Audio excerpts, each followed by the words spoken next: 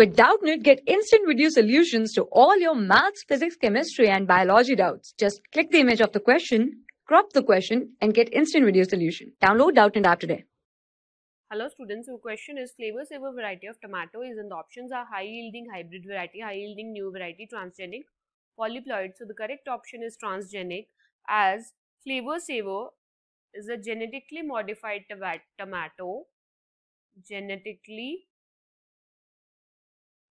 modified variety of tomato and it was the first commercially grown genetically engineered food to be granted as a license to be granted a license for human consumption and it was produced by the Californian company Calgene and submitted to the US Food and Drug Administration in 1992 and it is a transgenic variety because in this an antisense gene is inserted which encodes or which interferes with the production of enzyme that is polygalacturonase which generally reduces the shelf life of fruit, shelf life of tomato by increasing the ripening rate. So, by introducing this antisense gene, the shelf life of tomato was increased by decreasing the ripening rate of tomato. So, the correct option is transgenic as it is not a hybrid variety.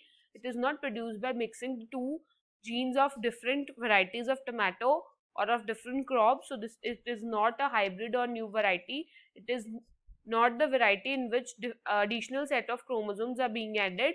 So, it is a transgenic variety. So, Flavr Savr variety of tomato is transgenic. Thank you. For class 6 to 12, IIT JEE and NEET level. Trusted by more than 5 crore students. Download Doubtnut app today.